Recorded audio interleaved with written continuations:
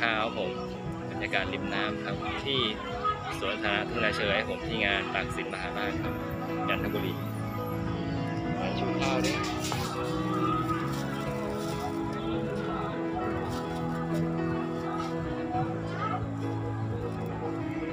ตรงนี้มีพลังมีหนมจีน